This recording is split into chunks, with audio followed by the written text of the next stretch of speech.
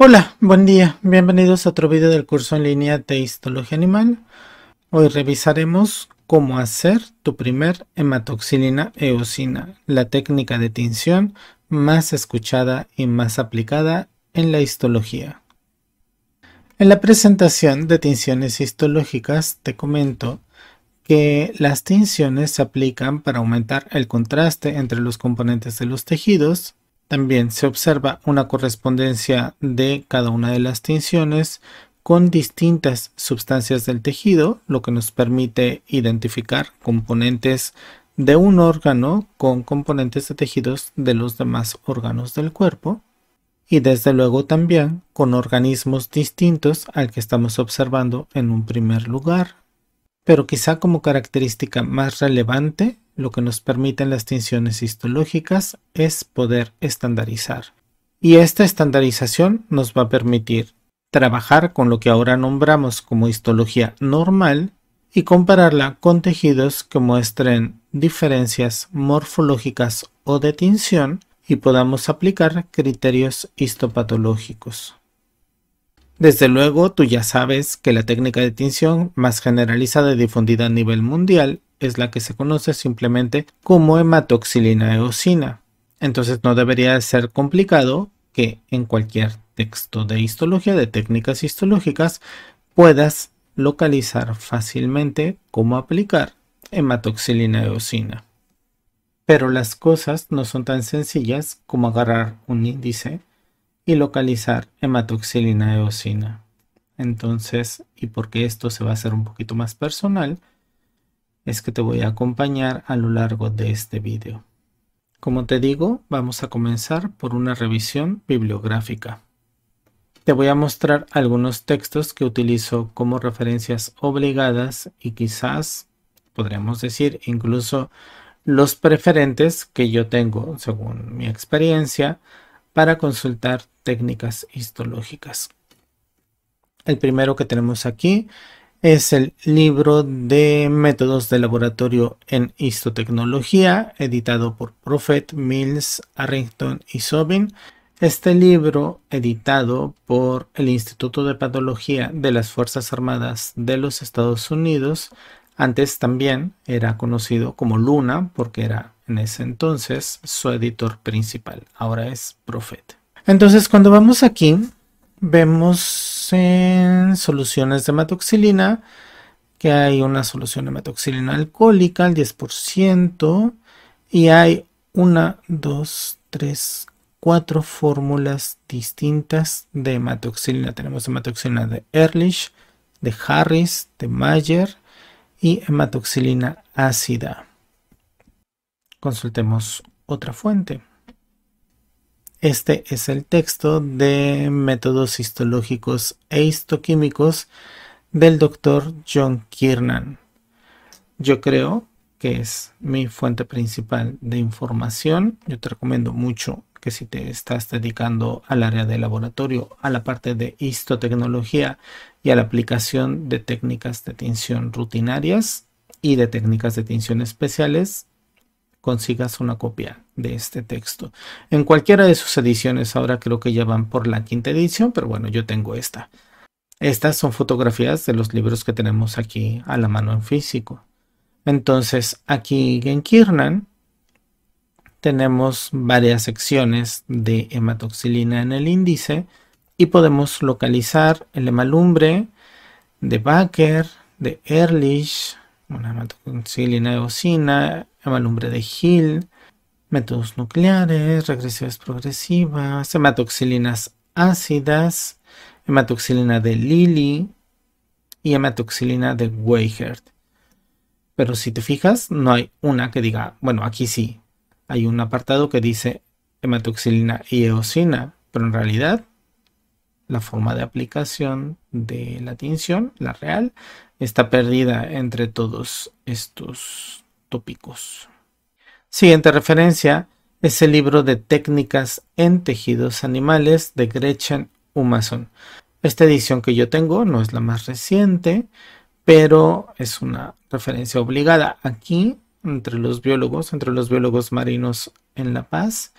es uno de los libros que más se ha referenciado para explicar los métodos de tinción y los métodos histológicos en general. Y si nos vamos al índice de hematoxilina en este libro, en el Humason, vamos a ver que las cosas incluso se complican un poco más, pues vienen montones de referencias de posibles aplicaciones de la hematoxilina. Con esto nos vamos dando cuenta de que no es sencillo abordar esta técnica de tinción y que necesitamos conocer un poquito más y no solamente las referencias de color de eosina rosita y hematoxilina morada en los componentes de los tejidos. La última referencia que te voy a comentar es el Manual de Técnicas Histológicas de Bancroft y Cook. También es un libro muy conciso, muy compacto, muy decente para aprender sobre técnicas histológicas, no solamente en la aplicación, sino sobre teoría de técnicas histológicas, quizás después de Kiernan. Y tenemos también una larga lista de referencias sobre distintas hematoxilinas. Acá tenemos hematoxilina y floxina, hematoxilinas alúmbricas, Carasi, Cole, Ehrlich, Gill, Harris, Mayer, férricas de Heidenheim, Loyes, ahorita las vamos a ver. Entonces, tampoco hay una solución fácil sobre vas a aplicar hematoxilina eosina, cuál de todas estas fórmulas es la que vas a usar el adelanto y el spoiler es obviamente no son iguales. Aquí te presento una lista compacta sobre las fórmulas que vienen en cada uno de los textos de cada tipo de hematoxilina. Resaltado con negritas vienen nombres únicos de cada una de las fórmulas. Si me pongo a comparar las referencias y voy descartando las fórmulas repetidas, me van a quedar, por lo menos en estas cuatro referencias, 22 tipos distintos de fórmulas para preparar hematoxilina. Si tenemos 22 formas distintas de preparar hematoxilina, y aunque en este momento no vayamos a revisar las fórmulas y los tipos de preparación sugeridas para cada tipo de hematoxilina, te adelanto desde luego que todas son diferentes y por lo tanto van a teñir los componentes del tejido de maneras distintas, con diferentes coloraciones y con diferentes intensidades de tinción. Incluso hay estructuras de tejido que se van a teñir con un tipo de hematoxilina y no con las demás. La elección no es fácil, pero ¿cuáles criterios podemos utilizar para, para orientarnos? Primero, si sabemos o tenemos una solicitud para aplicar un tipo específico de hematoxilina, pues aplicamos ese tipo específico de hematoxilina. No tenemos que perdernos. Si nos piden hematoxilina de Hill, aplicamos hematoxilina de Hill. Si nos piden hematoxilina de Mayer, aplicamos hematoxilina de Mayer. Sencillo. El siguiente criterio sería si debemos de seguir una referencia bibliográfica específica sobre el tipo de hematoxilina o tinción que se desea replicar. En algunos casos, cuando queremos comparar un experimento con otro que ya esté publicado y que aparezca en referencias en literatura especializada, pues quizás lo más razonable, en primer lugar, como primer acercamiento, sería aplicar la fórmula de hematoxilina que tiene el autor con el que vamos a comparar nuestros resultados.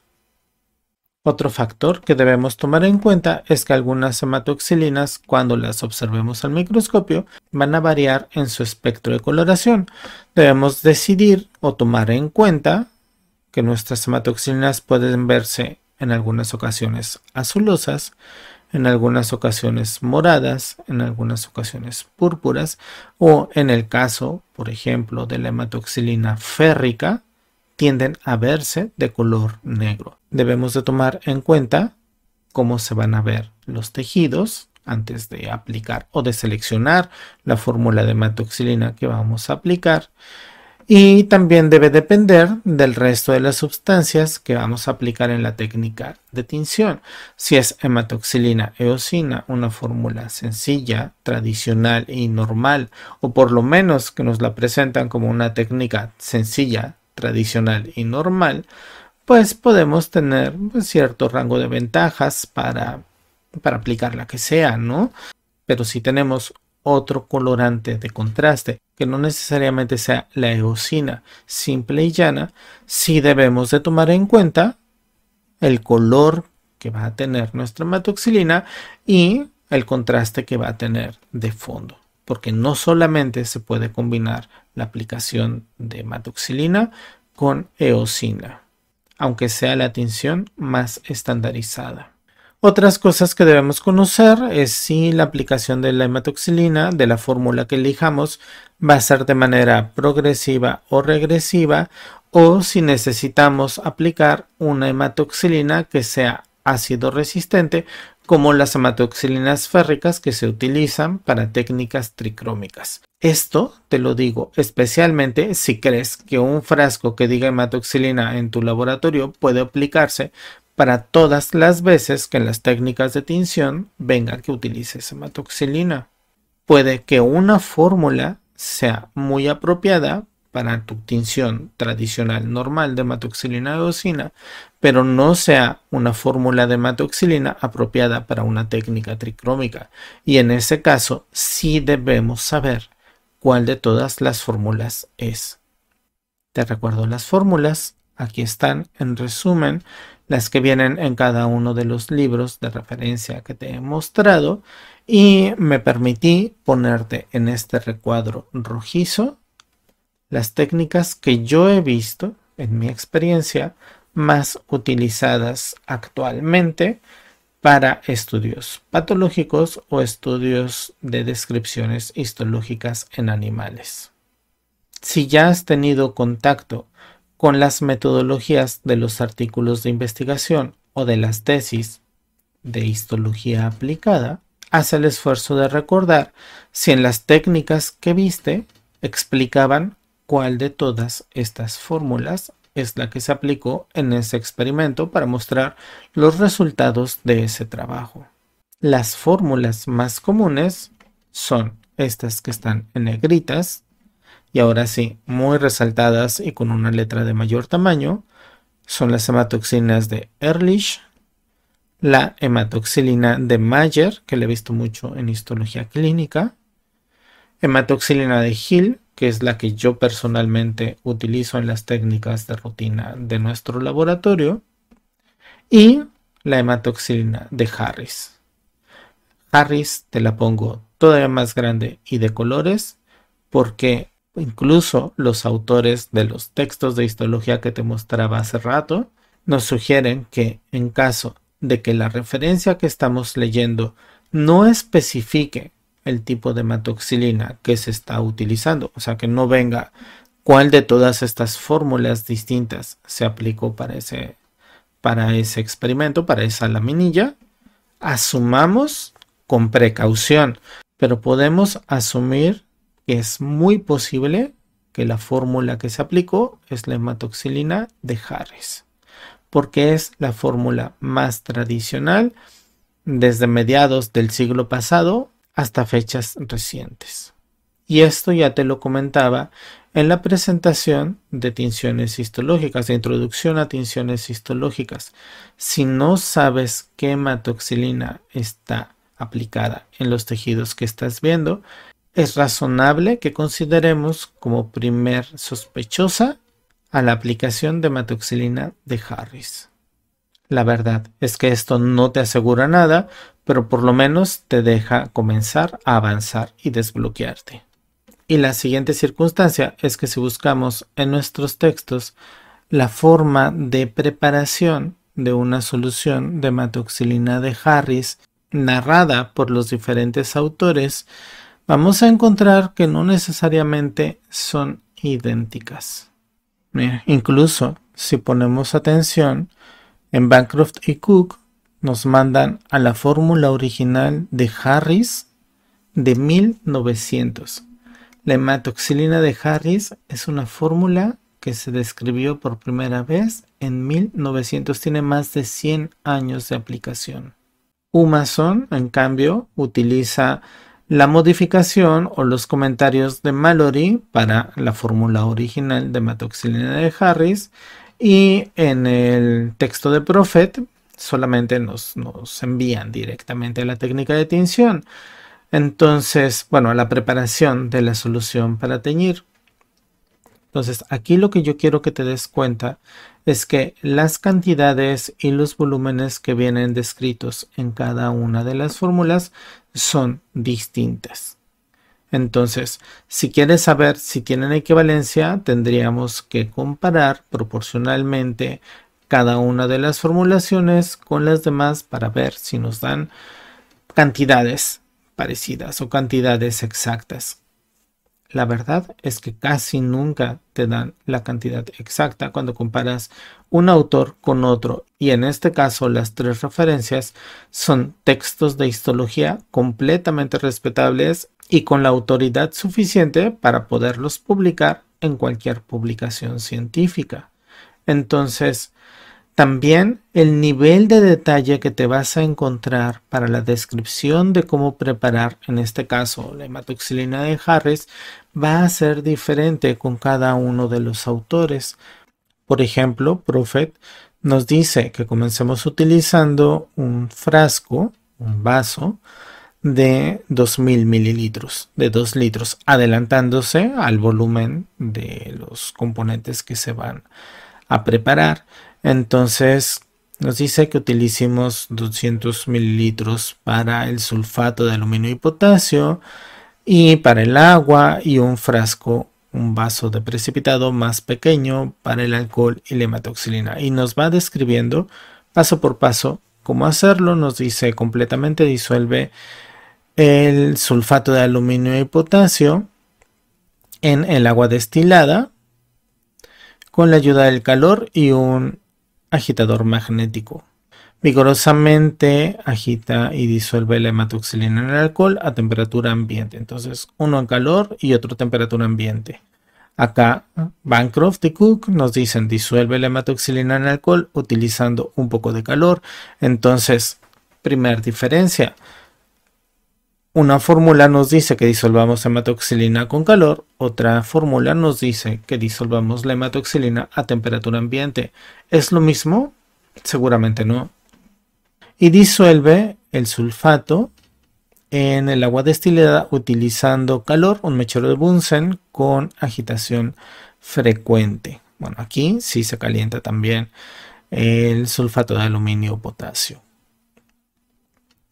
Humason nos dice, disuelve un gramo de hematoxilina en 10 mililitros de alcohol etílico, pero aquí no nos dice qué tipo de alcohol etílico. Aquí sí nos dice, Prophet sí nos pone alcohol al 100%, o sea, alcohol absoluto.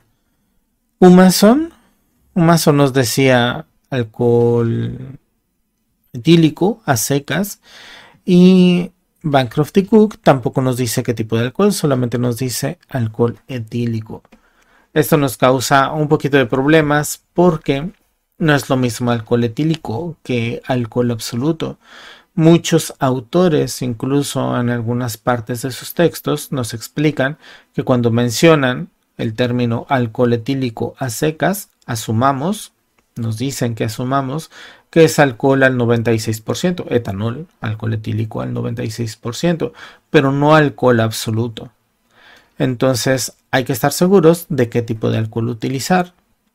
Mi sugerencia es que si uno de los textos que tienes de referencia dice que es alcohol al 100%, alcohol absoluto, apliques alcohol absoluto independientemente de las indicaciones que estás observando en otro de los procedimientos. Y regresemos a lo que estábamos viendo. Entonces nos dice remueve el sulfato y el agua destilada del calor, ya que está disuelto, y lentamente combina las dos soluciones. Ya que las tengas mezcladas, regresa las dos soluciones al calor y hazlas servir tan rápido como sea posible, de preferencia en un minuto o menos. Calentar muchísimo. Y acá nos dicen, Em, tenemos disolver la hematoxilina y el alcohol con 56 grados centígrados y luego disolver el sulfato en agua destilada y nos dice que mientras la solución de sulfato esté todavía caliente, agreguemos la solución alcohólica de hematoxilina y pongamos a hervir agitando frecuentemente. Acá no nos decían que volvamos a agitar, pero bueno, aquí sí nos dicen que agitemos frecuentemente. Humason nos dice que disolvamos la hematoxilina en alcohol, no nos dice nada de calor, disolvamos el sulfato en agua destilada y pongamos a hervir. Que agreguemos la hematoxilina ya que esté hirviendo y pongamos a hervir solamente medio minuto. Acá nos decían un minuto menos y acá no nos decían nada. Profet continúa ya hirviendo. Dice, remover del calor y lentamente agregar el óxido de mercurio. Esto no va a traer otro detalle. De hecho, en cada una de las fórmulas que vienen aquí marcadas, te estoy poniendo la aplicación Estoy resaltando la aplicación del óxido de mercurio. Y nos dice, lentamente, sin calor. Si el óxido de mercurio se agrega demasiado rápido, la reacción va a causar que la solución hierva y se derrame del frasco. Bancroft y Cook nos dicen apaga el mechero Bunsen justo antes de agregar el óxido de mercurio, puesto que puede causar efervescencia y hacer derrames. Humason simplemente nos dice que después de hervir medio minuto agreguemos medio gramo de óxido de mercurio sin mayor indicación. Te das cuenta que incluso notas de seguridad pueden ser distintas con las descripciones de distintos autores por eso es muy importante que cuando trabajes con técnicas histológicas, especialmente cuando trabajes con técnicas histológicas, no te quedes nunca con una sola referencia. ¿Cuántas tienes que consultar? Las más posibles, todas las que tengas a la mano. Prophet nos dice, después de agregar el óxido de mercurio, regresa la solución al calor hasta que se vuelva púrpura oscuro. Después vuelve a quitar del calor y coloca el frasco en agua fría para enfriar. Entonces aquí es calentar, volver a ver la púrpura oscuro, quitar del calor y luego enfriar rápidamente en agua fría. Bancroft y Cook no nos mencionan este paso de volver a calentar. Dice Enfría rápidamente colocando o sumergiendo el contenedor en agua fría. Y un mazo nos dice simplemente enfría rápidamente. Como, como se te ocurra, los otros textos nos dan la idea de cómo hacerlo si es que tú no lo habías averiguado por ti mismo. Y para completar nos dice, la solución está lista para usarse. Agrega 20 mililitros de ácido acético para intensificar la coloración nuclear. Siempre filtra antes de cada uso. Yo te sugería que siempre filtres antes de cada uso todas las técnicas de tinción. Acá nos decían enfriar rápidamente, introduce el contenedor en agua helada y después agrega el ácido acético y filtra. ¿Cuánto ácido acético? 40 mililitros. Acá eran 20 mililitros y acá estamos viendo 40 mililitros para más o menos el mismo volumen, solamente 100, 100 mililitros de diferencia. Dice que la solución está lista para uso inmediato, pero necesitará refiltrarse. Entonces, filtrar y ya se puede utilizar una vez fría y con ácido acético. Un masón, para completar la comparación de estas técnicas de tinción, disculpa que se te haga cansada la comparación, nos dice que después de enfriar rápidamente agreguemos unas cuantas gotas de ácido acético. Unas cuantas gotas no es un volumen predefinido. Si queremos seguir las guías de Amazon, tendríamos que guiarnos por Prophet o por Bancroft y Cook para darnos una idea de más o menos cuánto es la cantidad de ácido acético aceptable, que debería de andar entre 2 y 4%.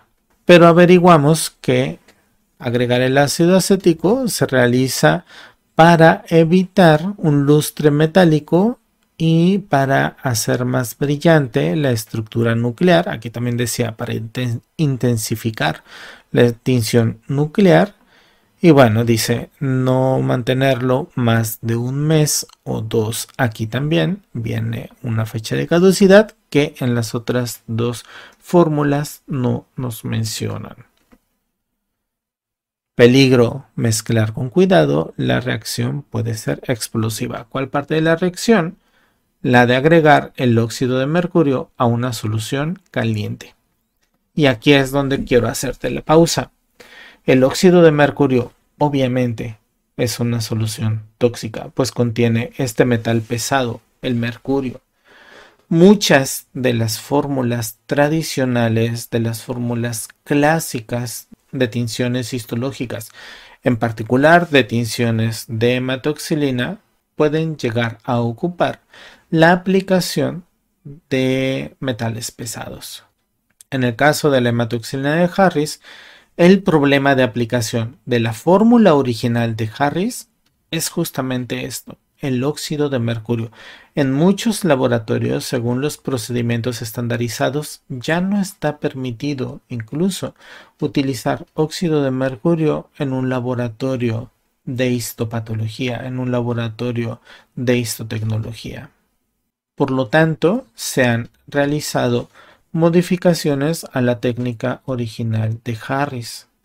Pero antes de ver la modificación, lo que quiero insistir, y disculpa por verme pesado y ser tan repetitivo, pero no vienen las mismas descripciones en los diferentes textos.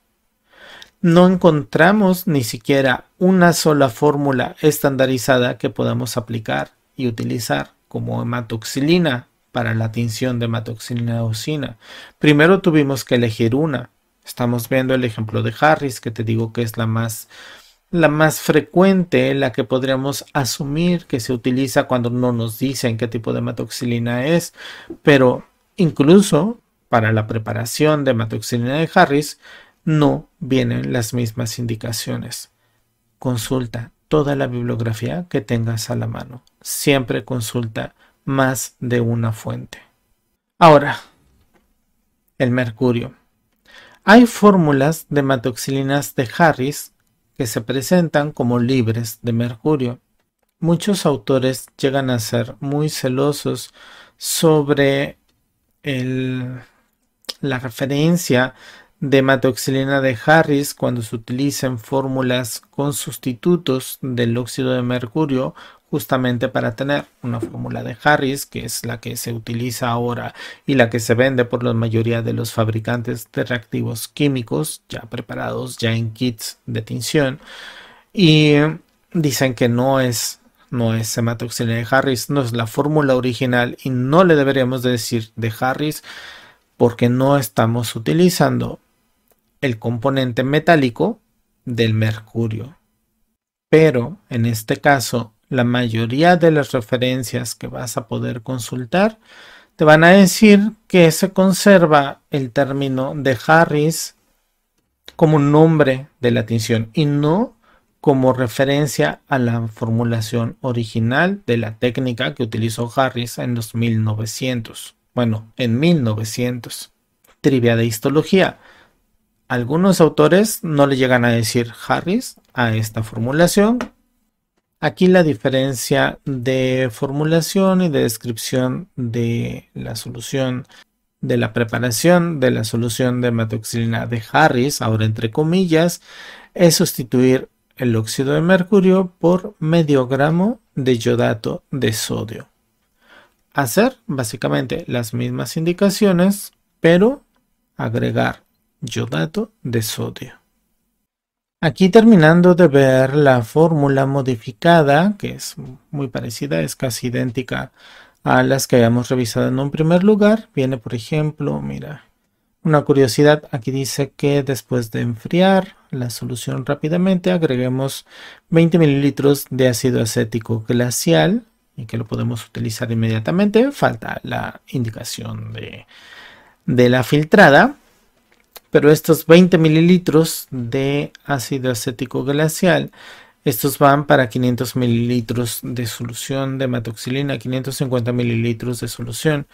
Y eso correspondería a los 40 mililitros para 1000 mililitros de solución de hematoxilina de Harris, descrita por Bancroft y Cook. Entonces tiene una fuerza de acidez mucho más alta que la fórmula de Harris descrita por Prophet o por un masón que apenas nos decía unas cuantas gotas. Quizá se te haga curiosidad, pero cuando tú tengas la responsabilidad de elegir solamente una de las formulaciones, debes de decidir cuál aplicar. Y si tienes diferentes indicaciones, debes de elegir según un par de criterios. Los vamos a ver más adelante. Pero hasta estas alturas, elige un autor y síguelo al pie de la letra. Y si no viene al pie de la letra, complementa con los demás. O varios laboratorios con los que he colaborado eligen hacer la toma de indicaciones de los distintos autores y tomar una solución más parsimoniosa que trate de conjuntar las indicaciones las concentraciones y las formulaciones de cada uno de los autores consultados. Tú vas a tener que elegir, pero tiene que ser una elección inteligente, razonada y sustentada en bibliografía. No puedes elegir poner más hematoxilina o menos hematoxilina, calentar más o calentar menos. La cantidad de ácido acético que se indica aquí solamente porque se te ocurrió o porque tenías intuición o porque creíste que esa era la manera correcta. Aquí nosotros no tenemos una forma de asumir cómo es correcto.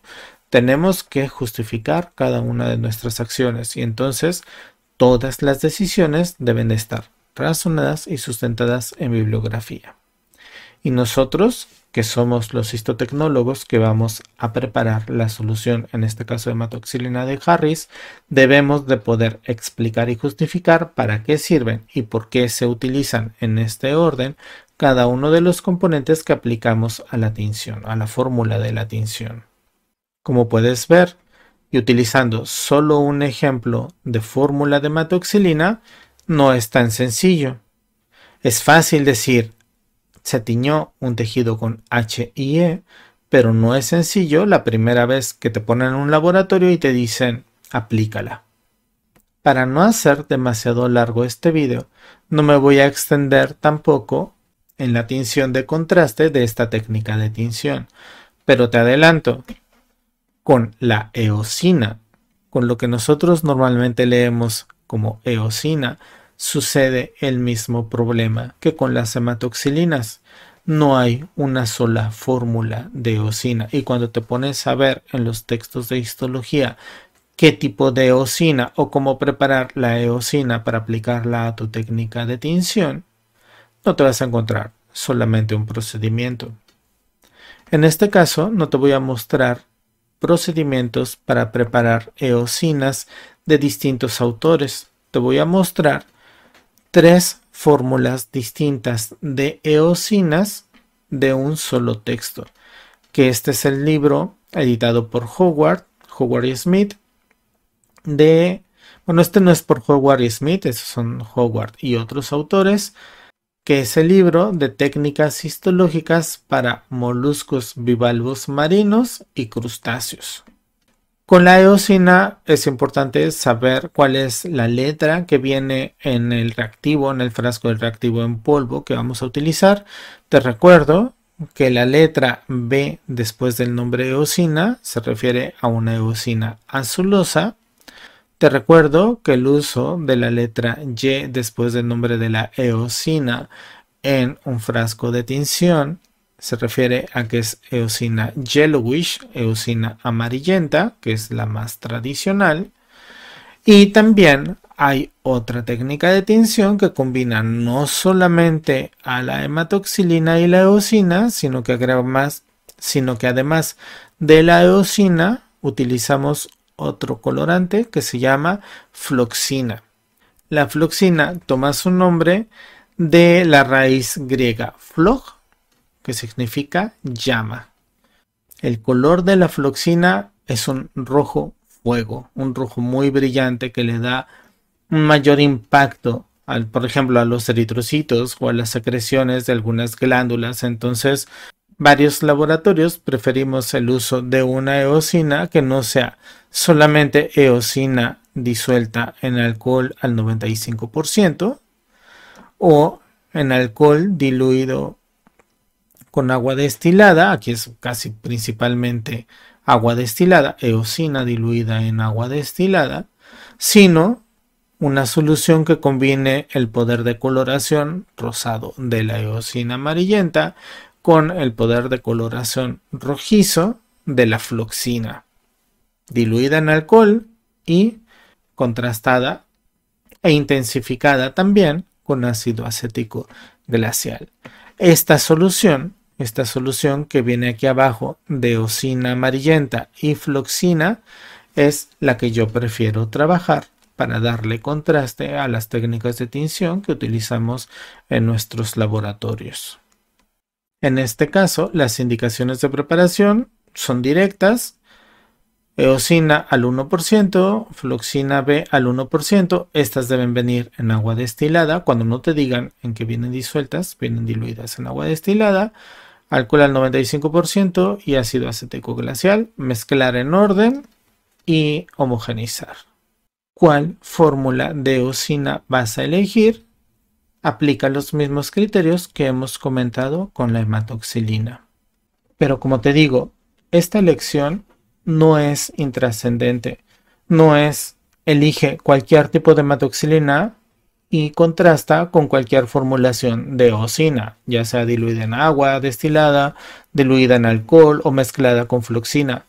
No es lo mismo, no da igual sí debe de tener su justificación porque la persona que va a hacer la lectura de las laminillas debe estar informada si es que también tiene la capacitación respectiva para poder interpretar las distintas fórmulas que se utilizan para esta técnica de rutina. Debemos de saber elegir y debemos de saber elegir basados en bibliografía.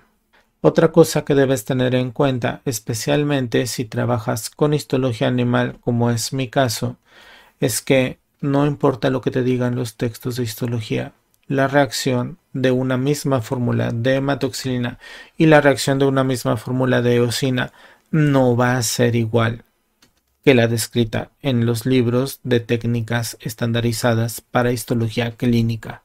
Una formulación de hematoxilina eosina no va a ser trasladable directamente hacia otros animales. Aunque nosotros estamos esperando que los núcleos se sigan tiñendo de morado y los citoplasmas se sigan tiñendo de tonos rosados, la tinción, la intensidad de la coloración y la elección de algunos componentes de tejido sí puede ser diferente, aunque sea el mismo tejido básico entre distintos grupos animales, en particular entre histología aplicada para vertebrados e histología aplicada para invertebrados. Los invertebrados, hay algunos invertebrados que suelen reaccionar de maneras completamente distintas y contrastantes que lo que nosotros prevemos por una técnica de tinción estandarizada para histología clínica. Eso nos debe recordar y nos debe poner los pies en el suelo de que las tinciones son reacciones químicas entre la solución que acabamos de preparar y los componentes del tejido. Y los componentes de los tejidos de los invertebrados no son los mismos que los componentes de los tejidos de los vertebrados. Y por lo tanto, aquí sí es todavía más crítico, en mi experiencia, especificar qué fórmula de matoxilina y qué fórmula de eosina, cuál de todas esas variantes son las que elegimos para el estudio de invertebrados, para histología animal y particularmente para histología de invertebrados.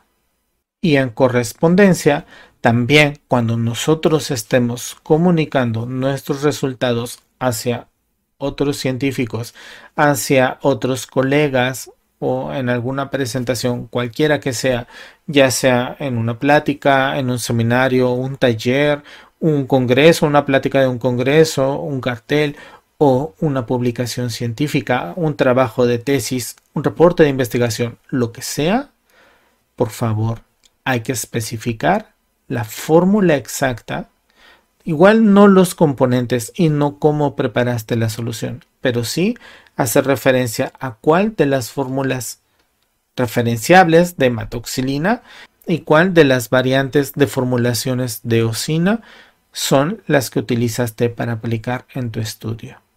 Lo que yo quiero comunicarte es que cuando hagas tus propias redacciones de tus protocolos de estudio, no vuelvas a repetir solamente hematoxilina eosina. Sería una gran ayuda para toda la comunidad de histotecnólogos e histólogos, patólogos, todos los que estamos familiarizados con el estudio de la histología, si cada uno de nosotros les explica a los demás, nos explicamos entre nosotros mismos cuál fórmula de hematoxilina y cuál fórmula o variante de eosina es la que se utilizó en los tejidos que vamos a mostrar o a comunicar, a analizar o a diagnosticar. Quizás es una de tantas cruzadas inútiles y personales que tengo, pero la voy a luchar mientras pueda lucharla. Es posible que nos estemos preguntando entonces si hay muchas fórmulas de matoxilinas y hay muchas fórmulas de preparar eosina, ¿cuál sería mejor? no hay mejor. Para comenzar, yo creo que no hay mejor. Y ahora te voy a comentar por qué. Pero si queremos entrar a los chismes en histología, te voy a mostrar, por ejemplo, uno de los pocos trabajos que he encontrado recientes sobre la comparación de tres fórmulas de hematoxilina y la decisión de cuál parecían, en este caso, sí, cuál les parecía mejor y cuáles parecían inferiores en la identificación de componentes de tejido. Aquí, por ejemplo, de Rastogi, de aquí sacamos la formulación de, de, la sustitución de hematoxilina de Harris libre de mercurio. Nos dicen que se realizaron cortes, que los cortes histológicos se analizaron individualmente por tres observadores distintos que observaron diferentes componentes del tejido membranas de células epiteliales, núcleos citoplasmas, estratos de la epidermis, características de tejido conjuntivo, fibras de colágeno, fibroblastos, células inflamatorias, adipocitos, vasos sanguíneos, células musculares, glándulas.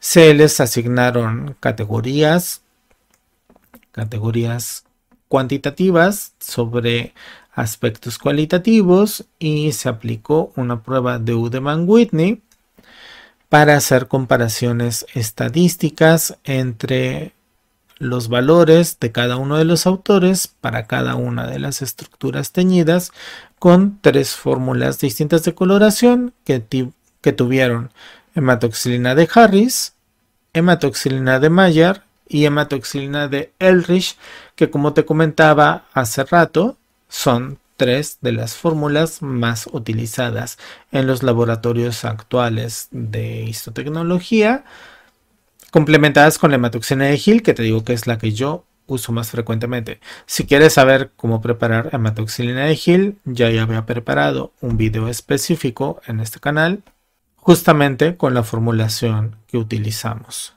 Regresando al estudio de la comparación, aquí nos dicen que el estudio concluyó después de hacer las observaciones por tres personas independientes de cada uno de los tejidos, que la hematoxilina de Harris fue superior a la de Mayer y a la de Elrich, con diferencias significativas estadísticamente, y nos dicen que la razón posible Para que se dieran estas diferencias significativas es que la hematoxilina de Harris tiene una mayor cantidad de mordente, aunque presente menos concentración de tinción, una menor concentración de polvo de hematoxilina en su fórmula. Y esta mayor cantidad de mordente en la, fórmula de hematoxilina de Harris hace que las pocas moléculas de hematoxilina o las relativamente pocas moléculas de hematoxilina se sujeten y se enlacen de manera más intensa a los componentes de tejido en comparación a las fórmulas de Mayer y la fórmula de Elrich. Aunque tengan una mayor concentración de colorante, tienen una menor concentración de mordente y por lo tanto no se sujetan de forma tan firme al tejido. Según esta publicación, la mejor hematoxilina para hacer diagnósticos histopatológicos es la fórmula de Harris.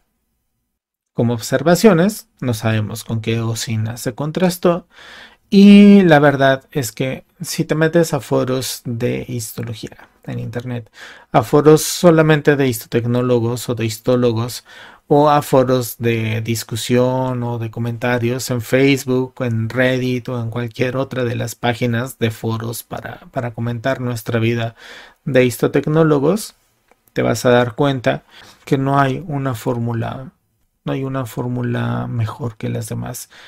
La valoración de una mejor fórmula de hematoxilina la va a dar la persona que esté leyendo la laminilla. En muchos laboratorios los responsables de hacer la preparación histológica, la preparación de los colorantes y la técnica de tinción ya directamente sobre las muestras de tejido no son las mismas personas que van a tomar la laminilla y a revisar el tejido en el microscopio y hacer la valoración sobre sus características o su condición histopatológica. Primero, la fórmula que puedas preparar y aplicar. Discúlpenme, pero el tercer mundo está muy complicado y si nuestro laboratorio tiene solamente opciones después de ver que hay muchos tipos de hematoxilina, que nuestros recursos son limitados y que solamente tenemos para hacer un tipo de todas estas formulaciones, pues aplica la que puedas aplicar. Utiliza la que puedas aplicar. Primero, la que podamos hacer.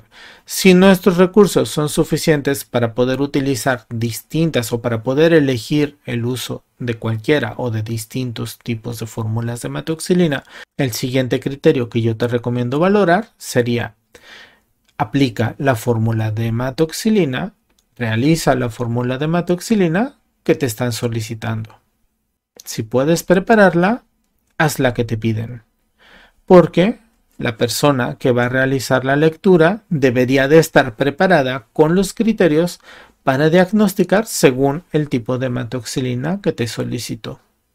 Si puedes preparar cualquier tipo de hematoxilina de las opciones que te mostré y no te han solicitado una fórmula en particular, investiga sobre ella, investiga sobre el tejido sobre el que la vas a aplicar y elige según la fórmula de hematoxilina que tiña la estructura que te interesa resaltar.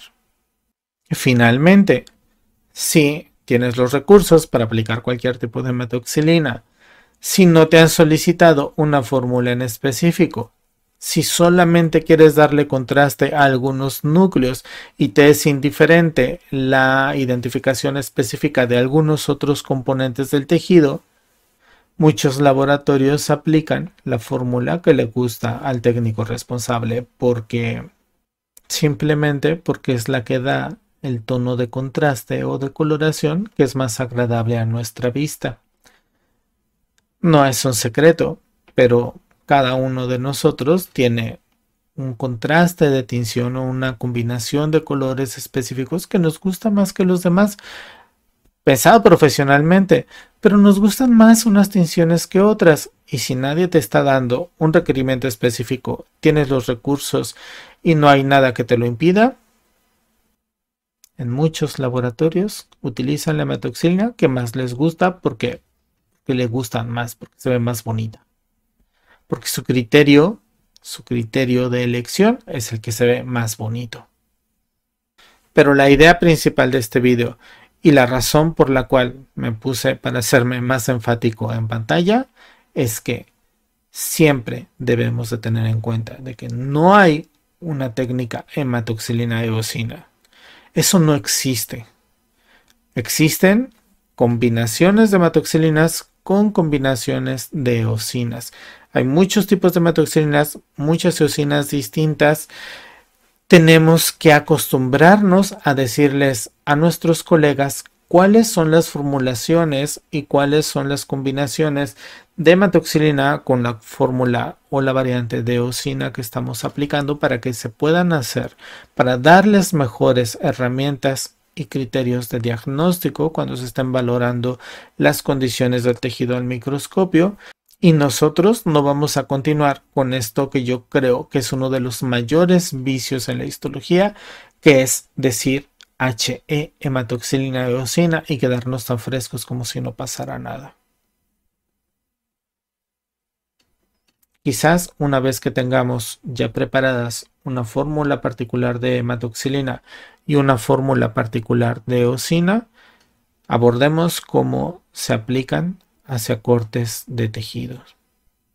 Y yo creo que con esto podemos concluir este vídeo. Pues esto fue todo para este vídeo. Si quieres aprender más de este u otros contenidos, deja tus preguntas y recomendaciones en los comentarios. Para recibir más contenido de histología animal, suscríbase a este canal y a nuestra página de Facebook donde se publica contenido original de nuestro trabajo. Si quieres apoyarnos directamente, tienes la facilidad de hacerlo a través de nuestra página en Patreon o haciéndote miembro aquí mismo en este canal. Continúen repasando, estudiando otras fuentes y prepárense para lo que les muestre el microscopio. Nos vemos luego.